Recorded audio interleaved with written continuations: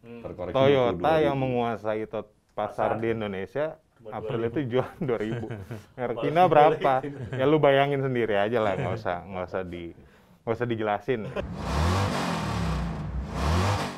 Halo sahabat Kompas.com, kali ini bersama saya Azwar dengan program perdana bernama Autopod atau podcastnya Kompas Otomotif. Saya nggak sendirian, saya ditemani oleh tim editor dari Kompas Otomotif. Sebelah saya ada Mr. Jambul.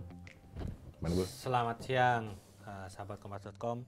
Setelah kita eh, apa namanya berpandemi, buah, apa namanya eh, work from home. Nah, sekarang kita untuk me, apa merefresh lagi teman-teman sahabat kompas.com kita hadir lagi di Autopod ya. Autopod, program. Otomotif kompas.com podcast. Ya, kita bicarain yang santai-santai.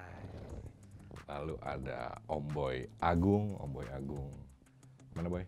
aman aman Kayaknya industri lemes nih Boy. Ini ahli, ahli analisis industri. Dikenal eh, ditakut oleh narasumber. terpuruk Lalu ada Kang Adit. Nah, Kang Adit ini temennya Pak Polisi. Ini terkenal di lingkungan jenderal-jenderal Korlantas dan Mabes Polri. Gimana? Sibuk ya kemarin? Sibuk apa namanya? Operasi ketupat. Berapa hari? 40 hari ya? Ya? Operasi, operasi ketupat se- terpanjang sepanjang sejarah. 40 hari. Cuman nggak ada yang di- ditilang kan? Cuman surat teguran. Jadi kemarin ada sempat ada hoax itu ya? Ya. Bukan hoax sih, ada viral foto edaran. eh, blanko. Blanko. di captionnya dibilangnya surat tilang padahal itu cuma surat teguran dan nggak ada ya di garis bawahi nggak ada penilangan nggak ada denda ya itu tapi operasi ketupatnya udah selesai. Eh, mungkin kalau ke depannya ganjil genap nanti akan bakal berlaku bisa lagi. Mulai lagi. Mulai lagi. Oke tadi pagi gue sempat ngelihat ada berita soal penjualan mobil. Nah, Tapi sebelum lanjut, karena masih pandemi, kita pakai nih. oh iya lupa Kita mengikuti protokol Dr. Reisa yang anggun. Biar nggak domelin dokter Tirta Oh iya. Oke. Menarik sih, penjualan Mas. ya. Penjualan mobil ini Penjualan sangat menarik. Kenapa? Karena turunnya drastis, bukan main. Sebenarnya nggak cuma industri otomotif sih yang nanti, nanti kita bilangnya nggak adil nih, kok yang dibahas Iya. cuma industri otomotif. Sebenarnya banyak sektor lain yang kena dampak. Eh, selain industri otomotif ada industri pariwisata termasuk yang kena transportasi ya, masalah itu darat, laut, udara termasuk yang kena dampak gede juga dan salah satunya adalah industri otomotif. Properti Nah, juga. properti penjualan. Itu biasanya kenapa sih, Boy? Ini orang nahan apa emang nggak ada buying powernya atau cenderung saving? kalau sekarang sih ini kondisinya apa ya eh, luar biasa lah kejadian yang baru pertama kali di Indonesia kan kayak gini dan terjadi di dunia dan ini ngerusak lah yang ngerusak semua sektor termasuk industri otomotif gitu. Yang paling basic adalah eh, gambar sederhananya gini aja. Lu mau jualan barang tapi toko lu nggak boleh buka gitu. Sederhananya gitu. Jadi ini dealer kan nggak ada yang buka gitu. Terus sales-sales gimana mau jualan gitu. Dan lebih parahnya lagi apa konsumsi kita itu kan kalau di otomotif hampir 70% itu by kredit gitu. Dan sementara leasing kita aja sekarang kondisinya lagi berat. Jadi orang-orang setahu gue sih leasing itu sekarang udah udah milih-milih ngasih kredit ke orang gitu. Dengan caranya dengan apa ya apa nolak alus boy. Nolak alus jadinya lu harus minimal ngasih DP gede. Nah sementara orang mau beli mobil siapa yang bisa ngasih DP gede cuman minim berapa persen? sekarang sekarang aja ada promo tadi barusan gue lihat di Mitsubishi aja 25% minimal. Dari harga ya. dari harga. Itu dia udah pasti ngasih subsidi tuh. Sebelumnya udah pada sepeda udah pada ngerem sampai 50% gitu. Siapa yang bisa banting duit segede gitu gitu? Nah ini yang yang jadi masalahnya ini ya itu.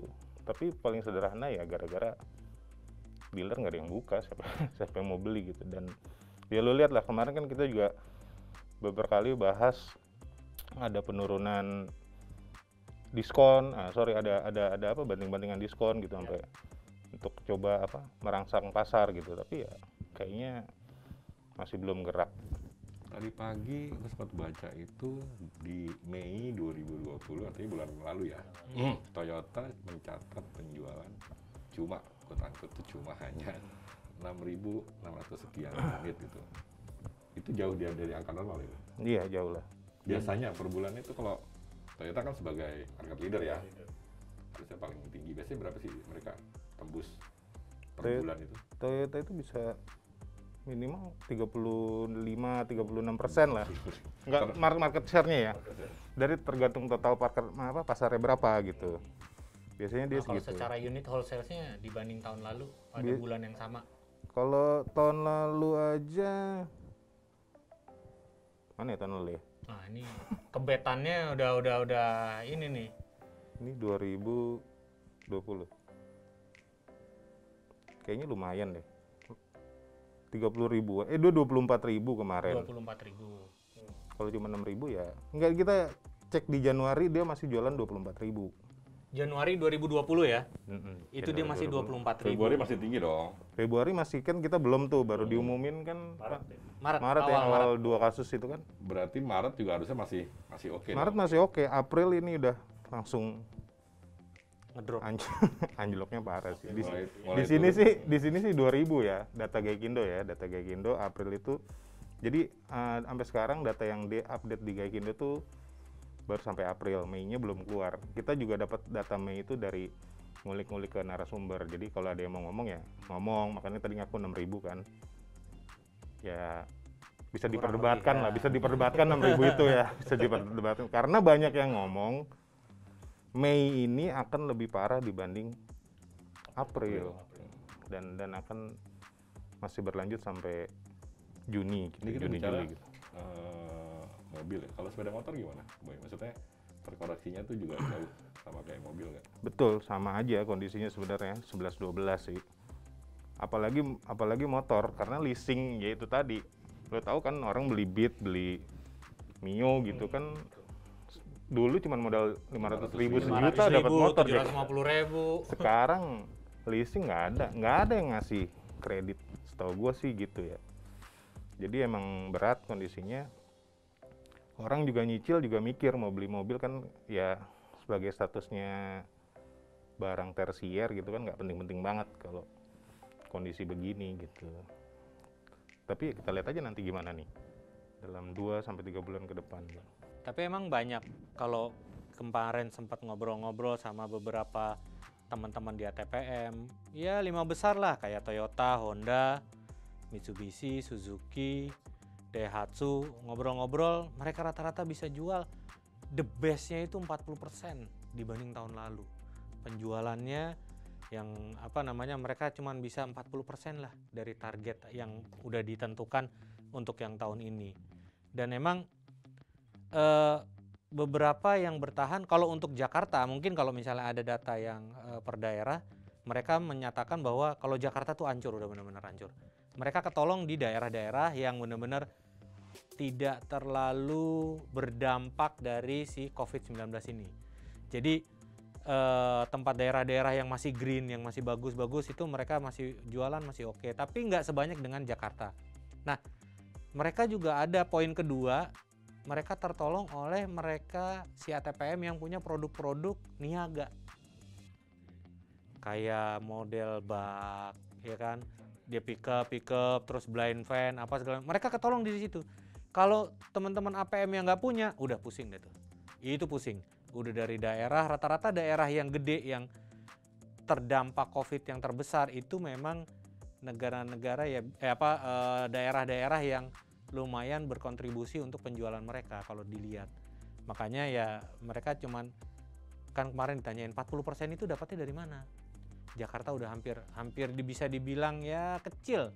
Yang dari luar daerah-daerah itu mereka dapat masukan-masukan eh, apa lumayan penjualannya apalagi ditunjang dengan yang kayak dia punya pickup atau blind van karena masih buat usaha tuh. Untuk diketahui, eh, data penjualan itu biasanya ada dua ya. Ada data penjualan wholesale dan ada penjualan data penjualan retail. Kalau wholesale itu dari pabrik ke pabrik menuju dealer, sementara kalau retail itu dari dealer terserap oleh konsumen ya. Itu cuma tadi yang biasanya kita dapat adalah data wholesale ya. Wholesale. Wholesale, Itu dari ya. Gaikindo ya. Berarti sebenarnya itu juga belum tentu terserap oleh market. market ya, oleh pasar ya gitu. Kita sih berdoa semoga eh, kembali normal ya. Iya. Kembali, kembali normal dan mungkin apa eh, produsen punya stimulus-stimulus atau relaksasi khusus buat buat merangsang pasar ya dengan adanya diskon misalnya. Diskon sih kayaknya sih lumayan menarik tuh diskon-diskon. Diskon-diskon mobil ya. Kemarin sempat ada 100 jutaan Iya. apa tuh? Fortuner ya. Navara, Navara, Navara, tuh 100 juta. Fortuner juga satu juta ya. Fortuner tuh, Fortuner 100 juta. Itu sebenarnya segmen-segmen yang quote unquote nggak terlalu terganggu dengan kondisi ini ya. Maksud mobil itu sebenarnya tapi kalau kalau balik ke data segmen teranjlok itu ada di LMPV Jack, Avanza and Gang lah. Avanza, Xpander gitu ya, tiga. Year on year itu Jakarta Januari April 34 persen. Iya. Oh enggak, 41 persen. LPV. LMPV sementara dia backbone kan, backbone market kita. Nah, gitu. kalau yang LCGC dibanding LCGC, LCGC lebih anjlok mana tuh? lebih anjlok LMPV ya. LSGC 26 persen minusnya. Parah. Tapi dari segi volume emang gedean LCGC sih. Tapi LMPV kan nggak nggak jauh beda lah. Ya itu, itu kan men- menggambarkan uh, base marketnya Indonesia ya itu mau dua mobil itu sebenarnya. Kalau yang lain-lain ya sebenarnya orang yang udah upscale lah, middle up lah gitu. Tapi ini kalau orang-orang yang first timer, first buyer ya ini semua mobilnya ya jenis-jenisnya ini ini aja gitu. Kondisinya emang berat sih. Kalau di tahun normal ya, nggak ada pandemi, harusnya di semester pertama jadi ladang jualan ya. Ladang jualan. Ada Ada pameran kan? Ada pameran. Di bulan April ya. April, April IMS, di- ya kan? juga jadi- ya. Dan juga jelang Lebaran. Biasanya Dan itu- juga harusnya bulan Juni Juli ini ada PRJ. Oh, yang iya. sebagian pasar-pasar yang ibaratnya harganya di bawah 300 juta, mereka itu memanfaatkan PRJ ini untuk jualan. Tapi ya, LCGC. Tahun ini PRJ nggak ada ya? Branding nggak ada. PRJ Bulan Nggak beli, nggak beli kiki kita. sepuluh ribu render. 20 lu 10 ribu tahun berapa? motor Jack PRJ kan motor. ladang, Motor. ladangnya jualan motor. motor dan kalau mobil-mobil yang bangsa LCGC yang harganya 100 yang di bawah 200 jutaan mereka panen juga lumayan di sana yang motor-motor ya motor pastinya kan dan mereka udah bisa eh, umbar-umbar diskon umbar-umbar paket. Biasanya kan di di saat eh, PRJ nah ini benar-benar lemas ini mereka.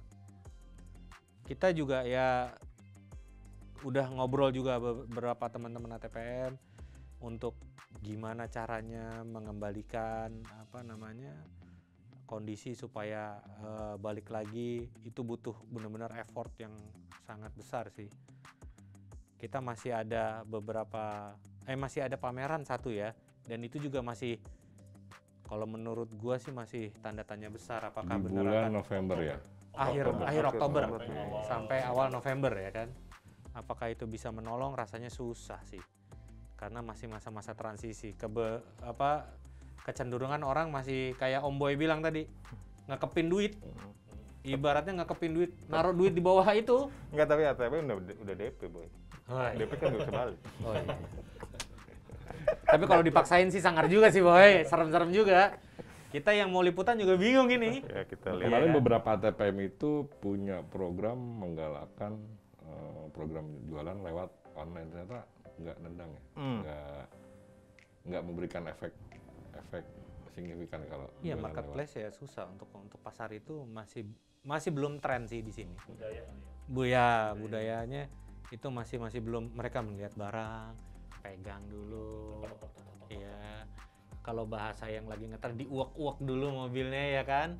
Diliatin, dicobain apa segala macam. Sebenarnya itu kan bisa mereka dapat dari sana kan. Cuman kalau memang feel untuk ngetesnya memang nggak bisa. Jadi mereka datang untuk ngetes, oke. Dan bahkan bahkan beberapa ATPM kalau mau ngetes tinggal telepon dealernya, dealernya bawa mobilnya ke rumah. Iya kan? Sekarang ada gitu. Nggak kena juga. Emang bener-bener ibaratnya lagi dikekepin itu digulingin itu tuh duit. Padahal udah distimulus sama produk baru ya, inget nggak eh, awal WFA Toyota sempat Oh iya, Agia Oh iya. keluar launching, Ayla Iya, launching, Toyota Daihatsu sempat launching. Ignis nggak lama Ah, kemudian Ignis ikut launching. juga, terus ada BMW ya. Iya, BMW juga launching. kalau itu kan buat para sultan lah ya. Mini BMW buat sultan lah itu. Kebeli lah kita BMW, tapi yang tahun 90. Enggak, kebeli lah. Gue yang X6 yang baru itu kebeli lah itu, yang diecast 183 itu lumayan. Jadi jadi gini boy, itu yang tren penjualan online itu gue dapet sih dari temen ada dari salah satu sumber ya teman kita di otomotif. Jadi ada penelitiannya di eh, dari salah satu apa riset company lah global Hmm. lah, inisialnya I gitu ya. Hmm. Dia dia melakukan riset di Wuhan, kan Wuhan itu udah udah mulai eh, udah mulai hilang lah pandeminya gitu nah. Apa? Mereka mulai campaign itu buat apa? Nge-start industrinya biar marketnya terstimulasi itu pakai cara lu datang ke rumah lu, jadi lu mau beli mobil. Door to door gitu. Door to door Jack. Waduh. Dan itu kayak Zaman dulu banget ya. kayaknya sih riset ini udah Berhasil? udah dipegang bos-bos ATPM di Indonesia kayaknya ya. Oke. Tinggal Ka- terapin ya. karena udah udah mulai udah mulai bermunculan nih teman-teman dari beberapa merek Jepang lah udah ngomong udah ya udah gue udah melakukan ini gue juga lihat lihat riset ini gitu Nah, termasuk sebenarnya menarik ini kalau misalnya lu lu bayangin nggak misalnya Fortuner diskon 100 juta aja Hmm, Hmm. Fortuner second drop berapa harganya drop ya. jadi teman-teman di Drop. B88 di WTC itu Hmm. Makin pusing sih Iya. dropnya makin gokil-gokilan lagi gitu. Dan setahu gua kan eh, itu juga udah mulai gitu ya, apa, Iya. ngasih ngasih buat test drive di rumah ya. Betul. Mobil-mobil bekas juga dia ngambil pakai modelan eh, strateginya dari ATPM. Dia dateng mau mau cobain mobil, dateng eh, bawa mobil bekasnya dicobain apa segala macam. Itu udah mulai mirip-mirip. Tapi ya begitu. Karena diskonnya gila-gilaan, mereka juga bahkan teman-teman dari yang lelang yang harganya sangat-sangat fantastis, murahnya nggak dimakan juga. Dari teman-teman yang di WT apa eh, WTC ya M MGK MKG MGK terus juga dari teman-teman yang ada di Blok M apa segala macam yang besar-besar dalam tanda kutip pemain-pemain besar mobil bekas itu dulu pada awal pandemi mulai-mulai masuk April itu mereka senang-senangnya beli mobil dari lelang harganya murah tapi ke sini tumbang semuanya. Tumbang semuanya udah nggak ada. Emang kalau mau beli mobil sekarang waktunya Oh, berarti bisa dikatakan bahasa kasarnya sekarang adalah waktu yang tepat untuk untuk beli mobil. Kalau ada duitnya, kalau ada duit. Atau bisa bayar DP yang tadi itu. Berapa? 40 persen ya? 40 persen. 25 sampai 40 persen. Itu kalau misalnya ini jangan jual mobil Karena sekarang. bulan depan harga naik. Lagi. Eh, sebenarnya sebenarnya oh, sorry sorry apa? Kalau kita ngelihatnya negatif emang negatif semua nih kondisinya. Tapi sebenarnya ini kesempatan. Kenapa? Karena pandemi ini kan orang jadi segan boy naik mobil, naik apa? Naik Angkutan naik iya bis, naik benar benar naik kereta gitu sebenarnya ya ada salah satu merek yang katanya mau launching LCGC ya mobil murah ya Iya. bukan LCGC ya mungkin Mobil ya. mobil murah nah ini mungkin bisa jadi opportunity buat dia buat gain market dengan harga yang seksi gitu misalnya ya atau motor betul dengan adanya ganjil genap Betul. juga yang baru terakhir Iya, infonya gitu. itu lu juga minimal sekarang punya motor dua aja. Dua. satu plat gan- ganjil satu plat genap. Ya sebenarnya ada ada ada opportunity di sini bi- yang bisa dimanfaatin sama ATPM cuman ya kembali lagi jualan mobil itu di Indonesia bukan ATPM yang jualan tuh leasing sebenarnya.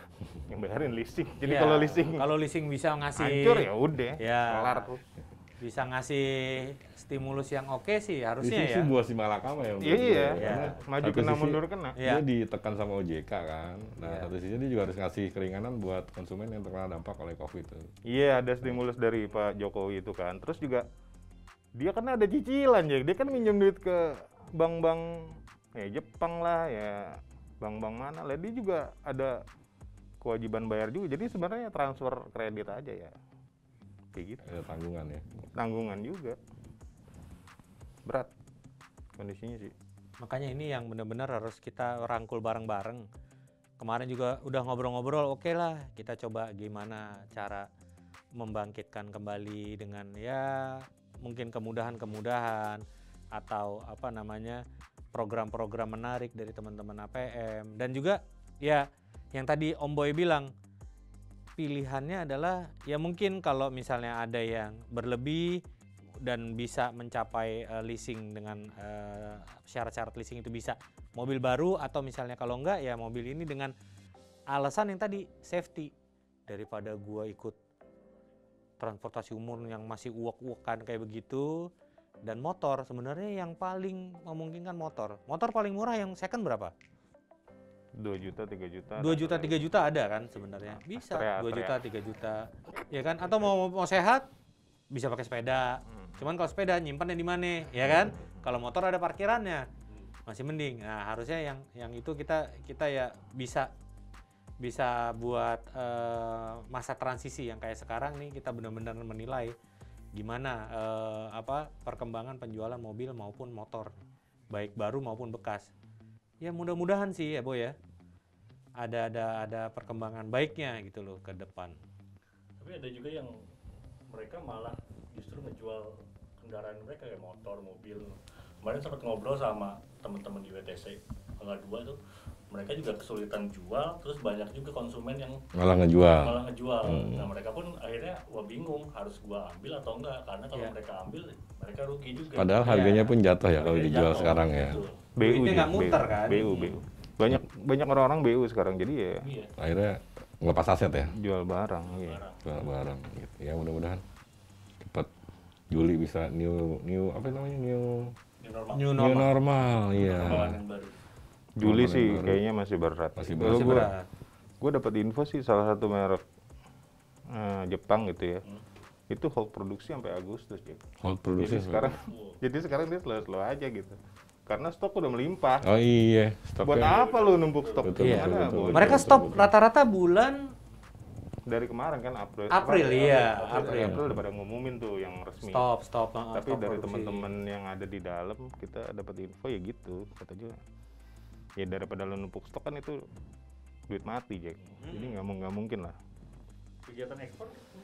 Nah itu juga juga jadi, jadi tanda tanya sih ngomong katanya buat ekspor ya. Cuman Vietnam aja kayaknya emang sih kayak kondisinya oke gitu. Tapi apa mereka buka buka buat terima barang gitu kan? Jadi pertanyaan ya katanya si ATPM sih melakukan kayak untuk ekspor kan udah mulai buat running ekspor. Mungkin negara-negara kayak Suzuki kan ekspor ke mana? Bangladesh ya. Bangladesh. Gara-gara iya, iya. Carry-nya ya? Sebelahnya India kan Bangladesh Iya, kan? iya. Bangladesh betul. Wagon R ya itu mungkin Oh, R yang dibuang ke sana. di sana Yang dibuang, yang di digeser di sini digeser kayaknya di sini kayaknya nggak laku. bukan nggak laku Oh, bukan nggak laku. penjualannya dikit oh, kurang bukan kalah lebih banyak diekspor ke Oh, Bangladesh iya iya iya iya. Kurang diminati. Bangladesh apa Bangl- Pas- Pakistan sih Pakistan ya Iya di sebelahnya dia Pakistan ada Bangladesh juga. antara itulah, itulah. ntar coba dicek Masih lagi doyan ya model kayak begitu ya.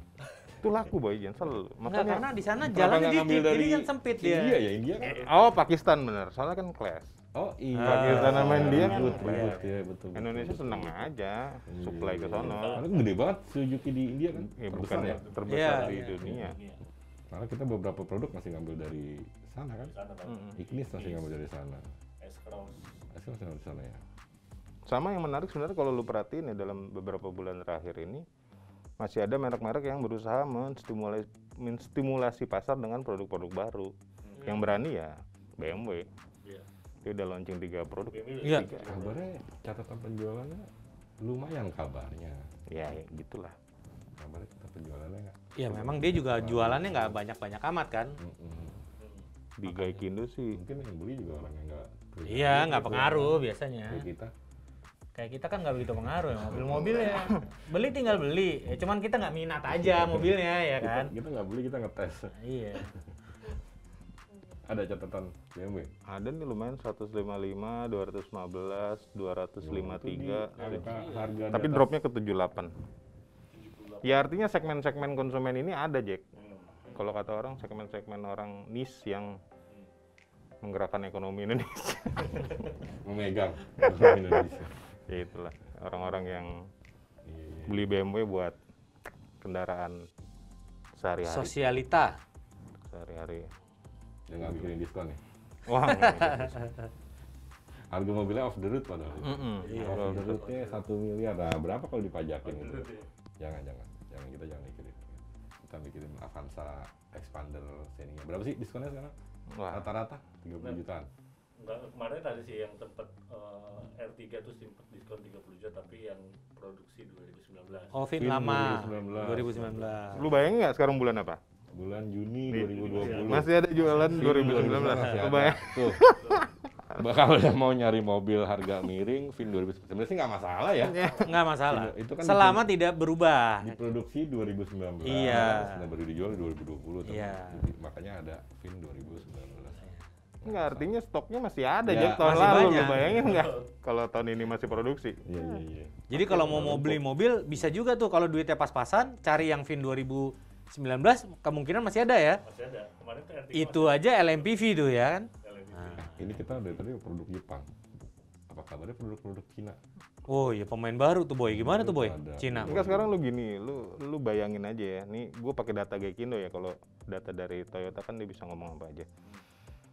Nah, Januari dia jualan 24.000, di April 2.000. Hmm. Terkoreksi Toyota 22.000. yang menguasai to- pasar Pasar. di Indonesia April 2.000. itu jual 2000. Erkina Paling berapa? Ya lu bayangin sendiri aja lah, nggak usah nggak usah di nggak usah dijelasin. Intinya berat lah. Kondisinya sangat berat ya. Iya. Gitu. Itu karena kita ada niat baik boy. Ada niat Jadi baik, kita kita ada niat ngomong. baik kita jangan nggak usah ngomongin ya kan. jadi- Kita tetap membicarakan optimisme. Iya, iya. harus optimis. Ya, harus Kan optimis. ada pemain baru ya kan? Eh, iya. apa? MG ya? M- Oh, MG. Oh, itu merek merek Tiongkok blasteran Inggris. Blasteran Inggris. Iya. Inggris ya. Ya, kita anggaplah mobil Inggris. Ibu lah, Inggris, salah. bapak Cina. Oh iya iya iya. iya. MG itu harusnya harusnya sih katanya lumayan. Cuman Mungkin tahu. bagus juga nanti kapan-kapan kita eh, apa eh, nge-podcast soal test drive kali ya. Hasil test drive kita omongin, kita itu bongkar-bongkaran. bisa gitu. teman-teman sahabat kompas kan bisa komen nanti mau bahas tema apa sebenarnya. Iya, iya. Tapi seputar otomotif ya, seputar eh, seputar mobil, motor, nanti kita bisa sharing. jangan soal-soal yang lain kayak KKI jangan. jangan KKI, jangan apa lagi tuh yang eh, dokter Kita baru terbuka, itu ya. yang kemarin Kita rame. terbuka soal produk baru, soal mobil baru, motor baru. Jangan lagu atau baru jangan ya. Soal pameran yang Ya. lagi rame nih pameran nanti di akhir tahun jalan apa enggak. Itu kita terbuka. Soal test drive itu kita juga bisa bahas itu. Eh, terus aja di komen nanti kita Dan ke depannya kita juga akan pasti memungkinkan untuk mendatangkan narasumber-narasumber ya. minimal telepon lah ya. Ya, Kita bisa ya. telepon dari sini, kita Betul. tanya jawab, tanya jawab, apa segala macam. data, harusnya kita bisa kontak Iya. Ketua Gaikindo Iya. Pak Yohanes. Yohanes. ya. Bisa itu. Tapi menurut lu gimana kondisi kalau akhir tahun? Kondisinya begini ya. Maksudnya lihat data di atas di atas ini di- kertas begini nih maksud gua. Hmm. Akhir Kayaknya tahun 2020 kalau sama produsen udah di uninstall aja kita kita bikin 2021 aja. ya. Iya. Toh dari budgeting juga mereka sebenarnya udah punya, udah Iya. punya plan kan ya Iya, ada pameran A, pameran B, pameran C. Iya. Ternyata kan nggak nggak terlaksana kan. Bener. Cuma emang Banyak nggak yang nggak bisa dibohongin, mereka juga punya cost di manpower harus Oh, bayar yang lain pabrik juga kan nggak kalau berhenti kan ternyata costnya gede bu ya. Hmm. Pabrik tuh Iya. kalau berhenti ternyata Oh, iya, iya, itu iya. costnya gede. Karena untuk startupnya lagi tuh Nah, itu. butuh proses untuk mencapai titik. Mudah-mudahan juga nggak ada yang di lay up ya di industri otomotif ya, di lay off lay off maksudnya. Ya Ada sih kalau ada informasi-informasi ini. So far informasi yang masuk ke gua ada tiga merek Yang yang sudah menawarkan, menawarkan, Oh, oke. menawarkan untuk eh, segera lulus dari akademi perusahaannya. Iya kalau dirumahkan dulu sementara terus nanti Hmm. kalau udah normal di Enggak, bener-bener lagi. golden shake hand ibaratnya. Itu udah udah udah ada tiga merek yang Ini dengar informasi. ada tuh, tawaran 10 kali gaji tapi boy pada nolak.